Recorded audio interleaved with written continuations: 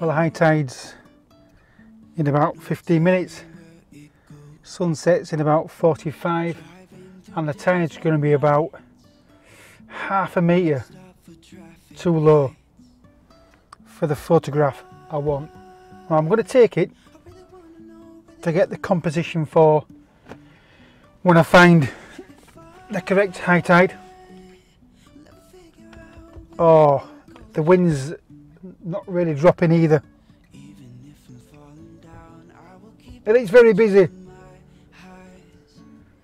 So, yeah, there, there isn't going to be much colour either because there's a huge swathe of cloud where sun's setting.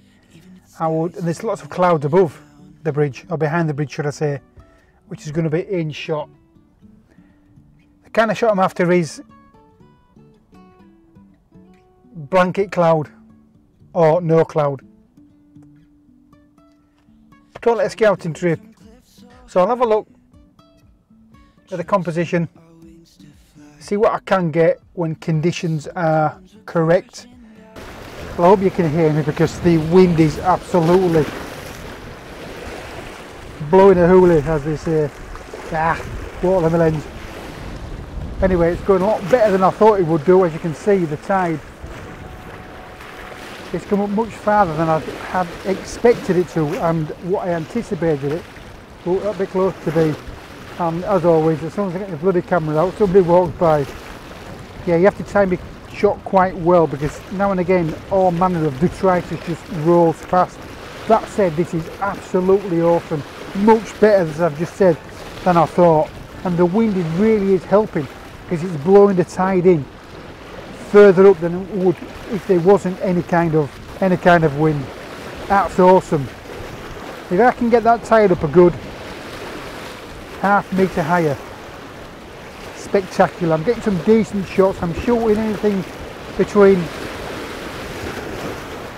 4x3 and 16 by 9 I've got the polarizer on, I've got the 3 stop hard grad on and I've got the 6 stop on and I'm getting about a minute um, ISO 64 just to get the timing right. Oh, another 30 centimetres will be absolutely awesome. Anyway, to clean my filter though because it just got splashed. The tide seems to have hit the high tide mark. So I've just done a really wide panorama right from over there right across to there if I could get the water to there. Sweet. Mm, I've been going into a rock there. I'm going to see what that looks like as well. Somewhere around somewhere around there. But I like to get the basin.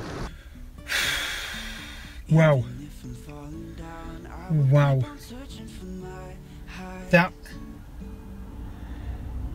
emotional roller coaster you go through when you think it's not going to happen. The tide is just not going to get high enough.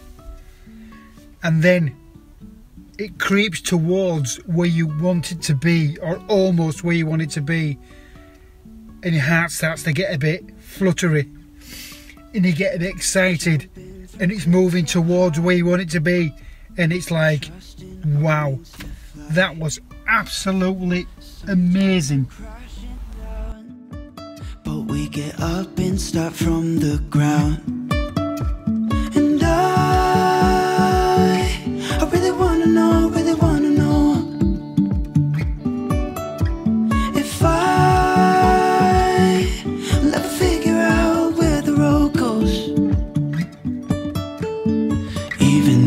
falling down I will keep on searching for my highs.